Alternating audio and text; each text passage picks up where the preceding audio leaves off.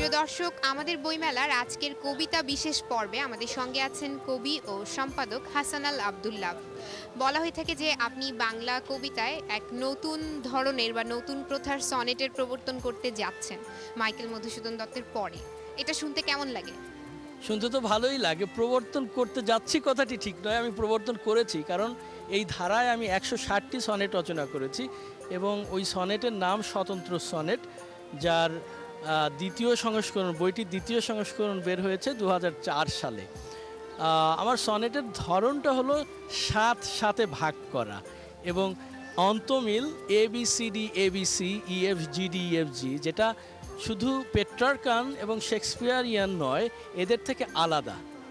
আমরা জানি আপনি শব্দগুচ্ছ নামে একটি পত্রিকা সম্পাদনা করছেন, যেখানে বাংলা কবিতা বাংলার পাশাপাশি অনুবাদ করে ইংরেজিতেও প্রকাশ করা হয়।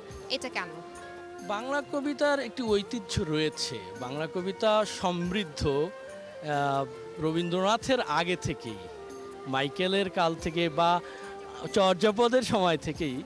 তবে একটি কথা বলাই ভালো যে, রবীন্দ্রনাথের পরে বাংলা কবিতা অনুবাদের মাধ্যমে বিশ্বের দরবারে পৌঁছায়নি। আমাদের তিরিশ, আমাদের পঞ্চাশ, আমাদের নব্বই, আমাদের এই উজ্জ্বল দশকগুলি কিন্তু বিশ্বের দরবারে পৌঁছায়নি। পৌঁছানোর একমাত্র মাধ্যম অনুবাদ।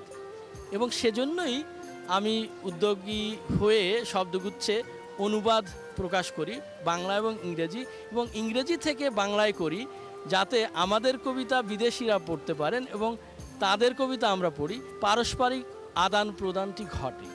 বাংলা ভাষাভাষী নয় এরকম মানুষদের মাঝে কি কোনো পাঠক শ্রেণি তৈরি হয়েছে শব্দগুচ্ছ পত্রিকার কারণে? হ্যাঁ অবশ্যই। আমার পত্রিকার আপনি শুনে খুব খুশি হবেন যে যারা গ্রাহক, তাদের মধ্যে এমন একজন আছেন যার অনুবাদে দুটি নোবেল পুরস্কার এসেছে। ফুলিও কার্টেজ এবং মার্কেজ নোবেল পুরস্কার পেয়েছেন গ্রেগরি রাবাসের অনুবাদে।